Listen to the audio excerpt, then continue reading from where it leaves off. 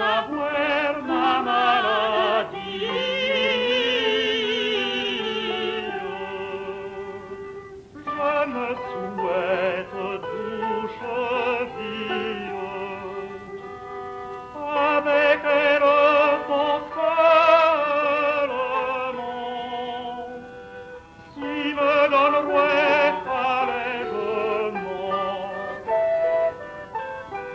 de tous mes mots